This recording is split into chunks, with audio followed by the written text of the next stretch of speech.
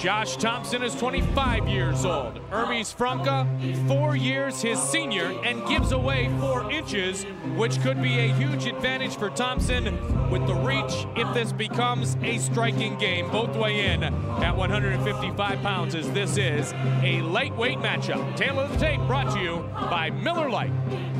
And here we go. Touch gloves in the center. Hermes Franca definitely wants to get this fight to the ground.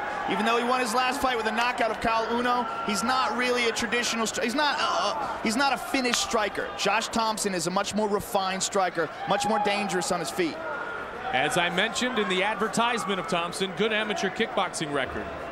He finally kicked the curse, and now he has been a regular here in the UFC a couple of times. Joe Silva tried to book him, and he was injured. He was frustrated, finally got in, looked impressive, in his win over Gerald Strebendt. A knockout win in under three minutes at those, UFC 44 right here. Those American Kickboxing Academy guys, they train very hard and they spar very hard. And, you know, that's one of the things that happens. You get a lot of injuries. And he's unfortunately been plagued with quite a few of them. It took a long time before he could make his UFC debut. But when he did, he was spectacular. He's always said if I weren't in the UFC, I would be flying planes in the Air Force, and he's flying high here in round one thus far. Watch the kick to the groin. Landless warns Thomson it was unintentional. I was very impressed with his debut uh, when I saw him in the WFA because uh, Rob McCullough, whoa, throws a head kick and slips. Rob McCullough is a well-rounded Muay Thai striker. He's a world champion, and uh, Josh Thomson stood on his feet with him and took him apart. I mean, it was very oh, impressive. Big spinning back fist la Carter and Matt Serra. Haven't seen the spinning back fist in quite some time. That was pretty nice. Landed with the tip of the glove, didn't quite land with the full blast, but he just shows he's got well-rounded striking skills.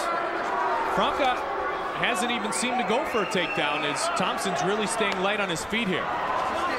Working in, working out, and not giving Franca a chance to shoot. Yeah, Franca, he's got to figure out a way to get this fight to the ground. Standing out here, Josh is just going to pick him apart. That back fist, if it would have landed, could have ended the night for Hermes Franca. And Hermes isn't well, there, well, oh, there go. good one. said that. And a Hermes knee. throws a nice right hand. Comes over the top with it. Hermes kind of sizing up Josh Thomson, purely the aggressor, here in the first two minutes plus of round one. This fight scheduled for three five-minute rounds. Oh, nice. Good combination. Left hand, right leg. Don't see that in oh, any other sport. Again with the spinning back fist. And Franca again was right there to defend it, though. Josh is getting loose. Can he get too loose here? Uh, he can, you know, I mean, look, anybody can get caught. In, in, the striking game, it's very dangerous. That's one of the beauties of grappling is that once you're in control, you know, you're in control. You get a guy down and, you know, you can control his body and you can protect yourself. Striking, guys are throwing leather, things happen.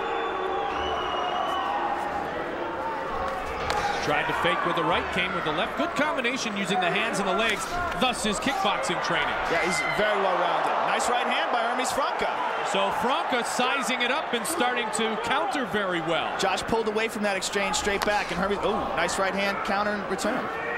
Well, both these guys trying to come over the top with the right, a la Chuck Liddell. Oh, that Superman punch, he loves that. He fakes a kick, and he dives in with the right hand. Straight kick, nothing there. Good defense of, the, of a high kick again. Good variety of strikes, but Franca no worse for the wear thus far. Now Franca looks solid. It just he looks like he's just kind of standing there, waiting for his time. There's a high kick from Franca. Both defending each other's strikes. Many more thrown here in round one by Josh the Punk Thomson. San Jose, California. He says, yes, I went to college. Yes, I have a degree. You'd rather not say where. So we'll have to press him on that if he's in a good mood if indeed he's victorious. Good knee. Franca looks like he's just looking to counter with a big right hand. It looks like that's all he's looking to do. Now he presses a little bit. He scored a big right hand on Caol Uno, knocking him out, and uh, he might be very comfortable with that. Now we go to the ground. This is Franca's world. And that's a big takedown. But it's a close guard situation, which indeed, as you said, could be Hermes Franca world. Well, Josh Thomson's no stranger to the ground. He's, uh, he's got great submission defense and great submissions. But this is definitely a much better spot for Hermes Franca than standing with him. Why then would Josh Thomson go for the takedown? He's a wild man. It does whatever he wants. You know, if he wants to take a guy down, he takes him down. I mean, Gerald Strebendt is uh, almost a pure submission guy, and Josh went right to the ground with him. He's like, I don't care, man. I'm not scared of your guard. Let's do this. 22 seconds remaining in round number one. Uh-oh. Uh-oh. Uh-oh. block the shoulder lock. Oh, good job reversing it by Thomson. And again, I echo, why does he go to the ground? But a nice job done. And you said his submission defense is solid, Joe. Uh, he's got he's solid all around. He's very well rounded. Good elbow to the body. Take nice down takedown by Franco. Now let's see Thomson's guard. Look at Thomson going for something. Wow. Yeah, Thomson's he, he's very well rounded. Nice job by both fighters here. A fast-paced, a barn burner, as was advertised.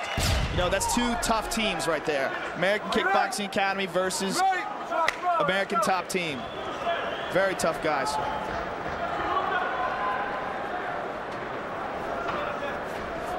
Waiting for something dynamic to happen. I think this one might end it in suddenly. It's not going to be that easy to take Josh Thomson down. A Stanford wrestler, excellent takedown defense. This this goes to the ground if Josh chooses to take it to the ground. And, and I, he did, and he did at the end of round one, as you said, and, because and, he could. Yeah, and that that was his choice. I mean, uh, if he decides to keep this fight standing up, this is a bad place for Hermes Franco. Nice oh, Superman great fake, good combination. And another right with the nice. knee. The oh, knee, and Franco oh. is able to gain the takedown. Now let's see what Hermes Franco can do inside the guard of Josh Thomson, that's, but he had to eat one or two on the way to it. Yep, and that's what makes martial arts is all about. He going for the omoplata Hermes Franco. Now he's going for the heel hook. Hermes is trying to pass the guard. That, what, what I'm saying is that's what mixed martial arts is all about. Take advantage of the guy striking and take him down. He ate that knee, Hermes Franco did, and took Thomson down. All right, now Thomson is uh, stuck here, and Hermes Franco's got him in side control. Well, Thomson has won a submission fighting championship in the North American uh -oh, Submission Fighting Championship before, so let's see if he can apply his submission. Now Franco is up, and Thomson is down. The punk utilizing that four-inch advantage even on the ground, using the legs. Three and a half minutes got remains his back. Oh. in round two. Okay. The pace is being pushed. And it's being pushed now by the punk Josh Thomson. Good defense by Thomson. And now Thomson's on top and Hermes' is guard.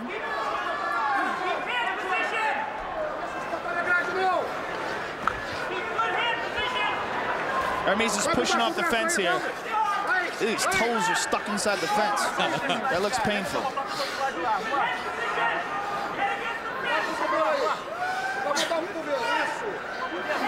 He's looking to rotate his hips and maybe lock a hold of one of Josh's arms here. The fence is going to work uh, against him because he is closed off on the distance to be able to do so, right? Yeah, Josh is going to press up against him. He's throwing shots. Different look to the fight here in round two.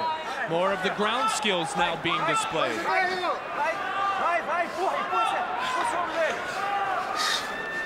Josh is looking to pass Hermes' guard.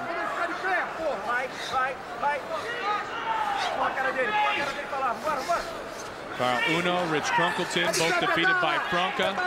Strebendt defeated by Thomson. Two undefeated UFC competitors. Thomson, 23 and 1 in mixed martial arts competition. Franco has never been defeated. He is a perfect 8 and 0 in mixed martial arts. Well, if this fight keeps going the way it's going, he's, he's going to have 8 and 1 after this. Hermes is rolling over. He's trying he's trying to work his guard, but to Thomson's credit, Thomson keeps him pressed up against the fence, and he's nullifying him. See what Thomson can do here. Uh-oh, Hermes got a hold of a leg. Hermes, good job by Thomson defending, but Hermes does have a hold of his leg here. Oh, Those that right fists. connected. The back fist, now he'll try to come around the other way. Those back fists from the leg lock, that was the beginning of the end for Gerald Strebendt. When Gerald was going for a leg, Josh does that, it's sort of like a backhand karate chop. He is creative, if not always effective, in his variety of strikes. The spinning back fist, that one displayed a moment ago with the back fist. Franco. Franco's in a bad spot here. Can Josh take his back here? But Josh is, you know, Josh can do whatever he wants. I mean, he, he can take his back. It's going to be very hard to submit Hermes Franco, but it's his decision whether or not it goes to the ground. Right there, all he had to do was just back up and step away and force Hermes to stand up. He chose to take it back to the ground. It just shows goes, goes to show you what truly well-rounded skills, how important that is in mixed martial arts. A lot of guys come in and they're very good at one thing. Hermes Franco is very good at Brazilian Jiu-Jitsu. Josh Thomson is much more well-rounded in my opinion. Says the training for this fight is 10 times harder than the last one. And afterwards, he'll train 10 times harder than that. Good job by Hermes Franco. Oh, getting out from the bottom. off the knee. Oh, he just missed with the right. Thomson wants to engage. Franco trying to swing for the fences. Oh. And down goes knee. Thomson. He falls down. Down Franco goes swinging. Thomson. Franco's swinging with that right hand. How good is this? Hermes Franco's got a heavy right hand, and he knows it. He likes to throw that thing. Straight kick ducked under the right. Franco's ready to engage. Josh Thomson's got his mouth open. He's breathing kind of heavy here. High knee. Big right hand. Oh. Big right hand. He's rocked. He's rocked. Hermes Trying Franco's to got finish. a big right Franco hand. trying to finish. Swinging away. Oh, Swinging one. away. Continuing to try to pressure Josh Thomson. A barrage of rights. Oh. A barrage of rights continue. Oh, he and stopped it. Oh, Larry Landless and was they like in the middle of stopping it there. He tried to get his best position, did Landless. And a good job done by our referee. Good job in not too soon. It looked like he was ready to jump in there. Josh is surviving. Hermes Franco's got lead in that right hand, man. They are on their feet here in Wow. Las Vegas. Hermes rocked Josh with that one right hand and kept following up. Now, did he gas himself out? He's still got four minutes left in this round. That's a long time when your body's burning. That was outstanding. Josh is in the closed guard right now. He's got Hermes in his closed guard, and he's just going to bide his time and try to recover here. And Hermes has got to recover, too. That was a big burst. This is going to be dangerously close on the scorecards. That, that was dangerously close to being a knockout right Yep, there. Yep.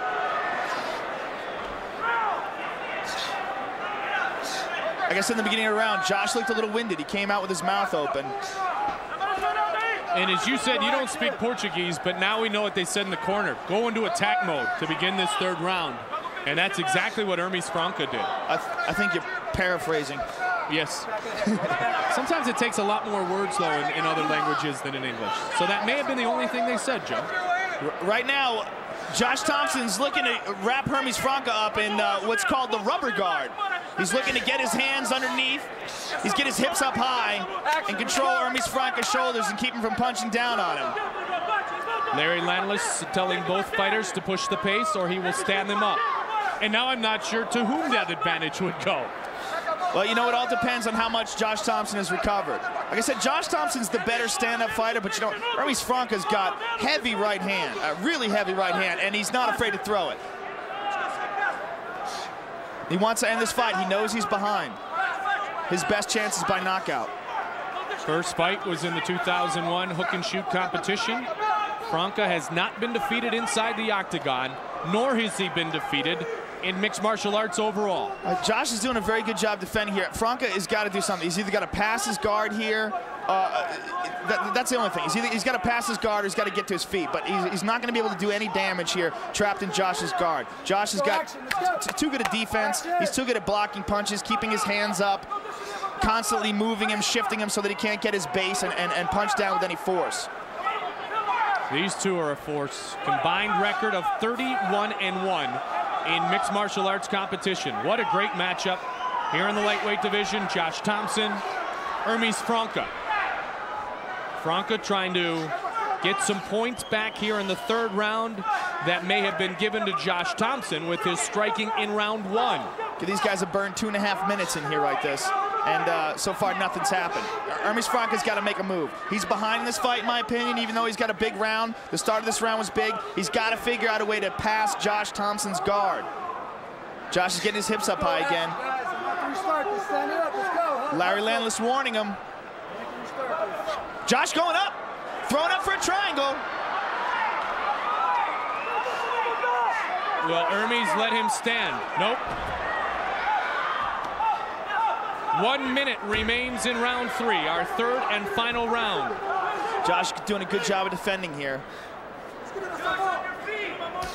Uh, Hermes did not want Josh to stand up. He wanted to keep this fight on the ground, but He, has got to do a, a, better job of getting out of Thomson's guard. That's the only way he's going to do any damage. And he's got a knee in the stomach now. He's passing. You can hear him screaming now, now, now. They're up. Now Josh has got a hold of his leg. Oh, they're up. And here we go. What a final 30 oh. seconds we're going to have. Oh, oh nice knee. knee. Knee the body. They're going to go toe-to-toe -to -toe here for the last Stop. 30 seconds.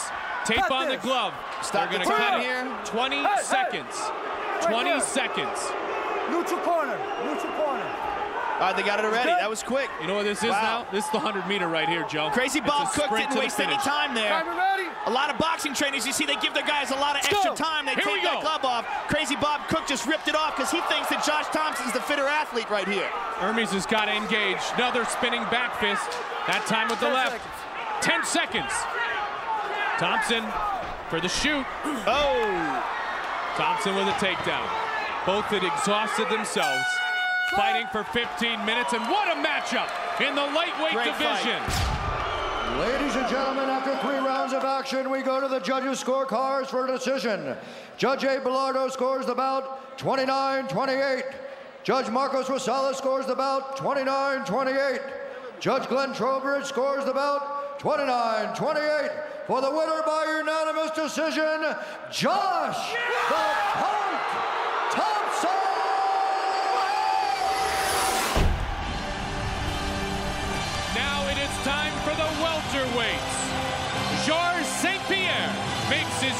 debut against the Heat.